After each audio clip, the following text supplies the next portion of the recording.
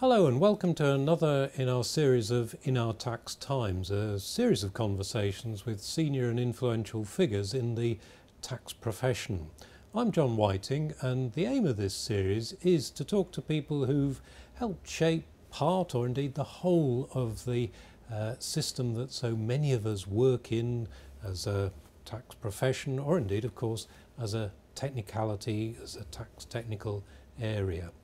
And today I'm delighted to be able to welcome Bruce Sutherland, somebody who Bruce can be described as the guru of a particular area, and I'm referring to valuations, of course, and one of the few people who can uh, actually almost claim to have almost invented an area. Valuations, Bruce. Now, we'll probably be doing two programs with you because you've got such a long and varied life in this world, but let's focus on valuations. But just to begin at the beginning, how did you get involved in tax and business in the first place? Completely by accident, totally unintended. Right. I started life as a soldier. Mm -hmm. I was in the old Indian Army and I was privileged to serve with one of the oldest regiments, the 1st Gurkha Rifles, founded incidentally exactly 200 years ago, same time as Waterloo. Right. But of course in 1947 uh, we gave India away and they didn't want Brits as officers in their army. So I had to work for my living instead.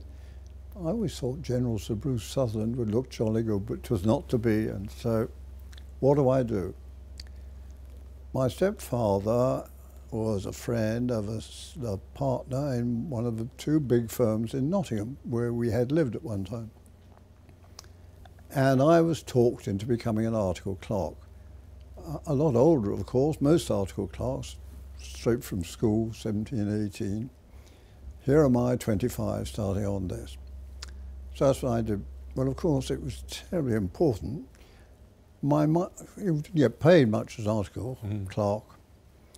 It was most important that I qualified. I worked very hard, and to my and everybody else's surprise, first certificate of merit, my intermediate exam. Very good first article clerk in Nottingham to get a first certificate of merit since Sir Harold Howitt, then Harold Howitt, 40 years before. You know, he became senior partner of Peats, president of the institute, you name it.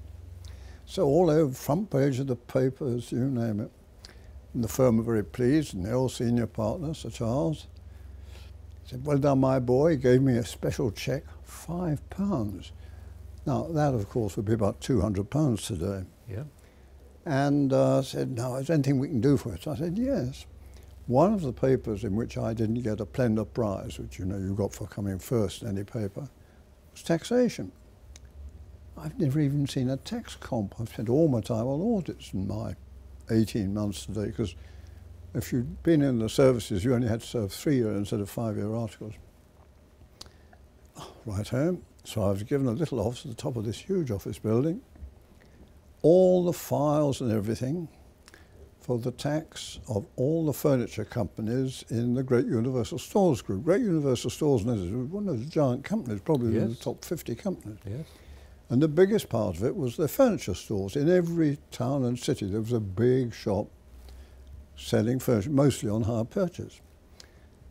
And the whole of the tax computations and agreements on these had been left open from 1938 through to 1948, well, I was starting on this in 49, partly because there's a big argument about how you value hire purchase debt. So with, as they did with the shortage of staff in the war, they put it all on one side, and now it all had to be cleared up. So I had to learn about income tax on companies, because there was no corporation tax then, of course. Of course National Defence Contribution, which was a sort of company surtax, which started in the mid-30s when we started rearming for the war. Excess profits tax during the war, and then from 1945 onwards, profits tax, which was a two-tier tax, a higher rate on distributed profits than on retained profits. And I can tell you, by the time I took my final, I did nothing else but tax. By the time I took my final exam, I was a guru on company taxation, I can assure you. So that's how I got into tax. So that's how you got into tax, and obviously you did that for quite a while. And yes, and you indeed. told us a bit of Then I moved on, of course, from that firm, and that's um, it wasn't until later I got involved in valuations. yeah. Well, let's get on to valuation because, as I say, that's what I want to make the focus Well, of this discussion. What some- took you to that? Some three years later, by this time I'm what, 31, Mhm. incredibly young to be a partner in a firm of Chartered Accountants. I became a partner in one of the old firms in Birmingham. Right. It, it wasn't a giant firm, but it was, had a very, very upmarket practice. Nothing but quoted companies and big unquoted companies and rich people, landowners, you name it. And uh, a peer of the realm who was extraordinarily rich, he had married an American heiress and his father had married an American heiress, which was quite popular in those days in the um, nobility to restore the family fortunes. Of course. And this chap had died not long before.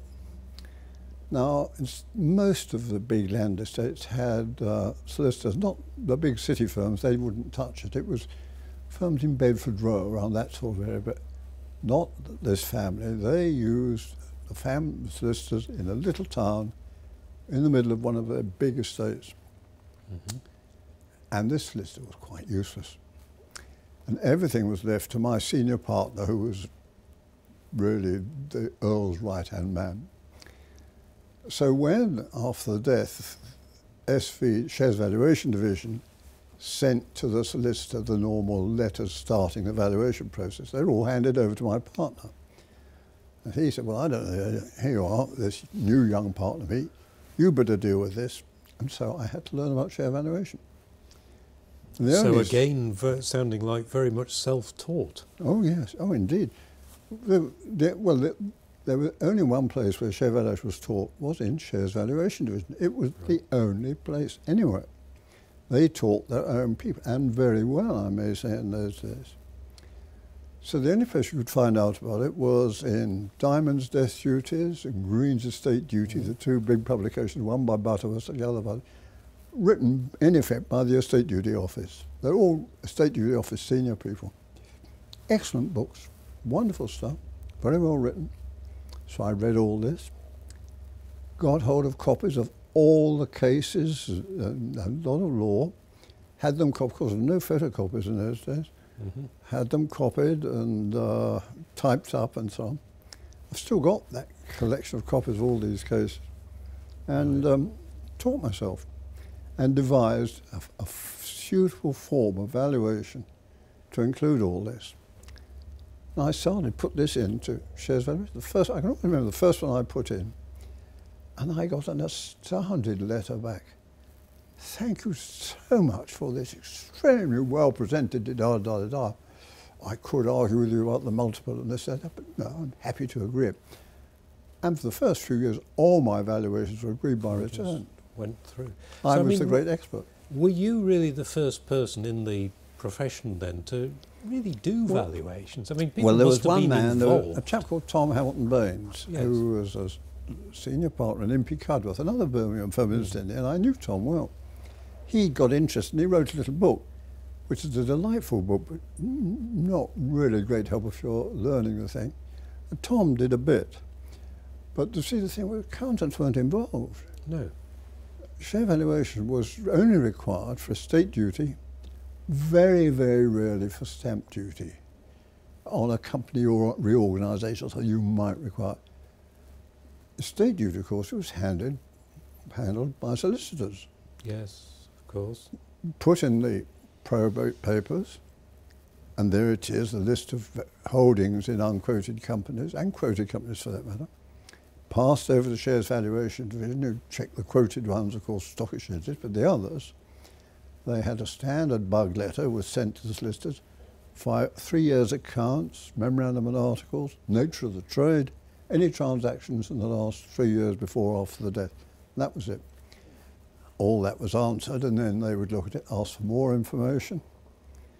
And at the end of the day, they would say, well, we think the value is this, which was usually lower than the family thought it was. We were talking about the basis of valuation Mm. later, but um, was lower than that. I'd usually be agreed, and that was it.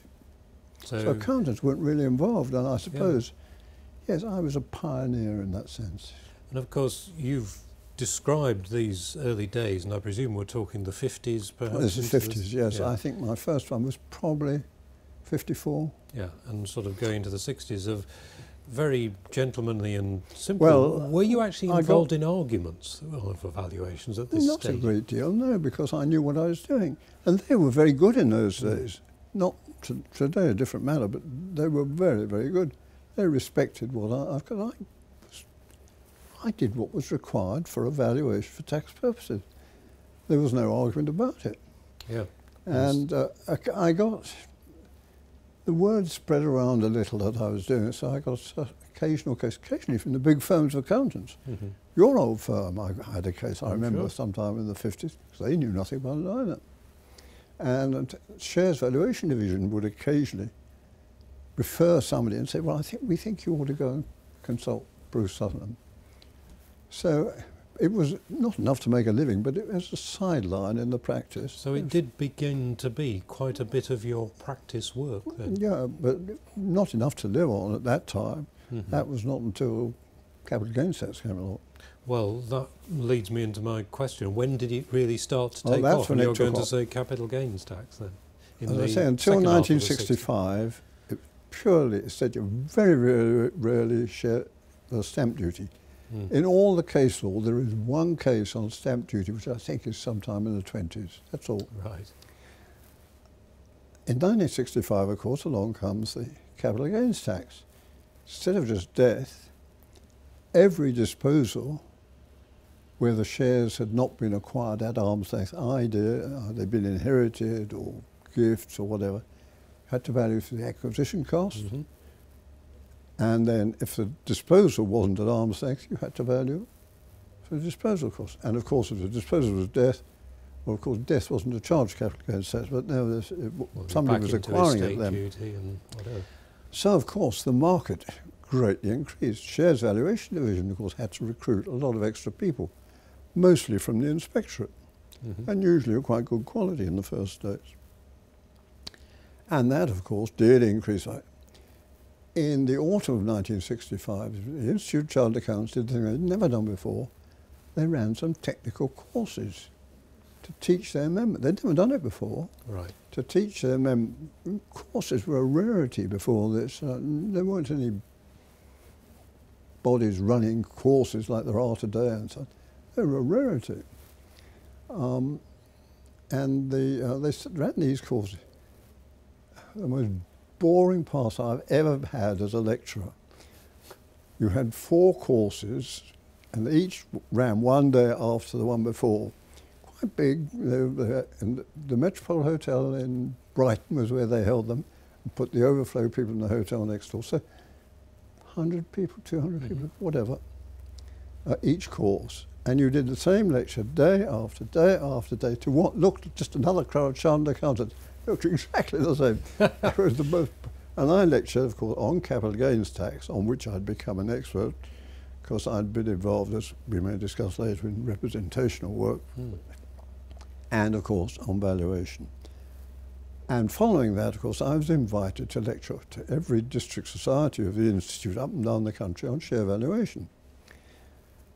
And I used to half day or whole day courses all over the country on which of course then the work flowed in. Anyway, we joined Touche, and Touche had this international connection.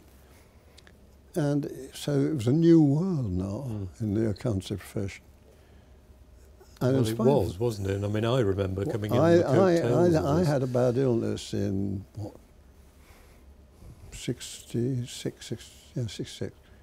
And they said, well, you know, just take it easy. I said, well, you can't go on the field on a Saturday afternoon and say, you chaps play harder. Mm. I think I'm well enough known in share valuation to run my own, so I retired. Luckily, some former clients offered me non-executive directorships. And then, my big moment, a quoted company which owned some very well-known subsidiaries, manufacturing consumer durables, ran into losses.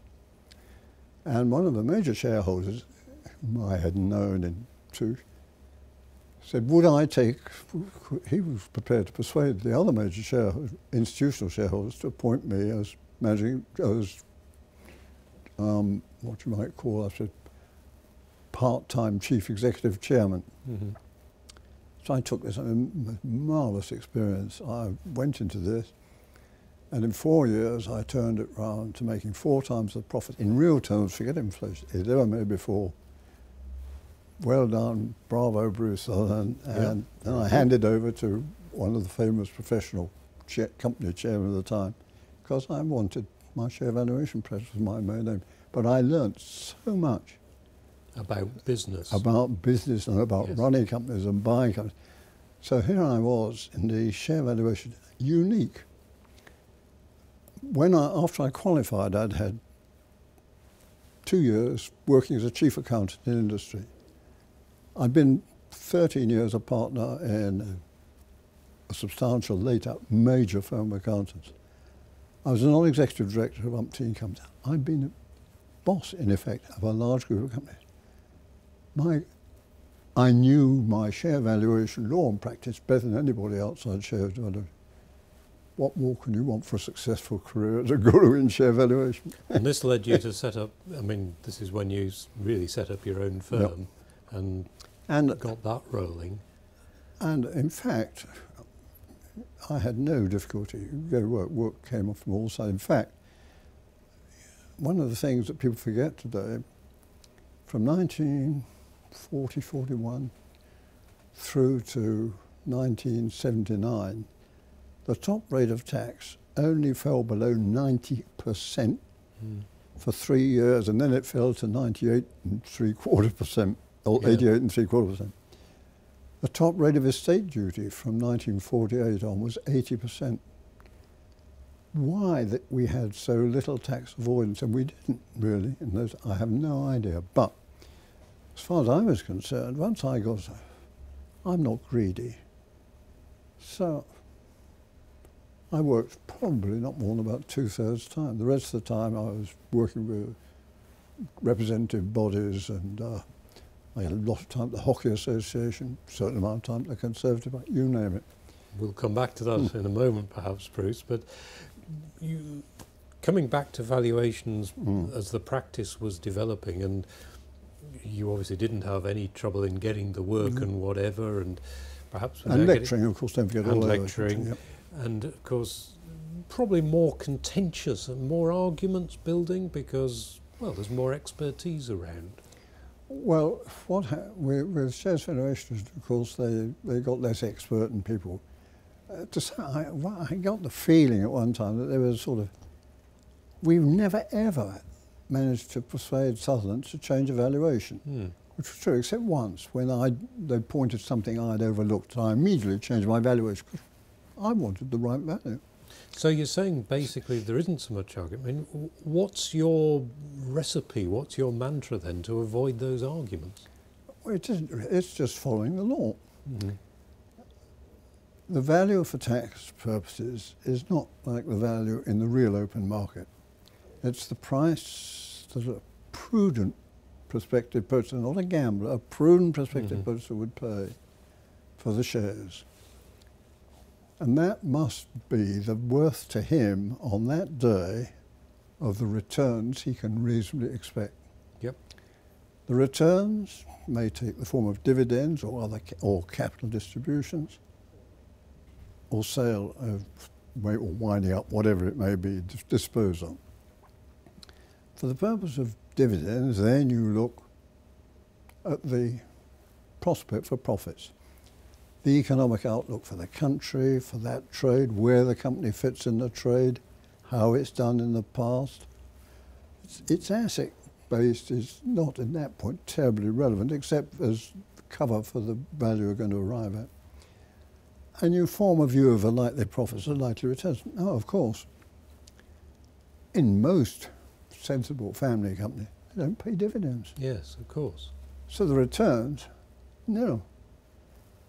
Are they likely to pay dividends? Never. So there's no. So then you have to fall back on what's the capital return.